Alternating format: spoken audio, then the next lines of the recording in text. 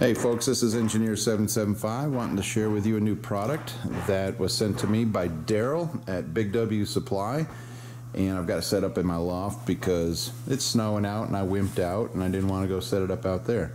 So we enjoy our loft and so we, uh, I imagine this is going to be a permanent fixture. We might need to get another one because I'd really like one for my bug out bag.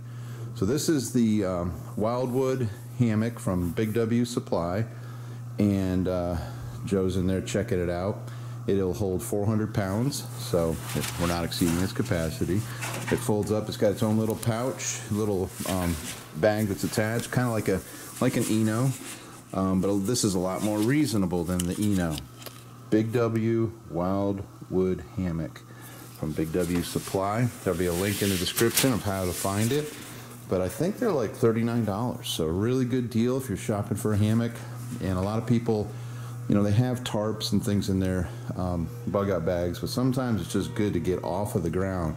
Um, pretty soon the site will have uh, good heavy duty straps and a, a mosquito uh, rain fly for it and other accessories are coming along. But right now they've got a great product good good hammock.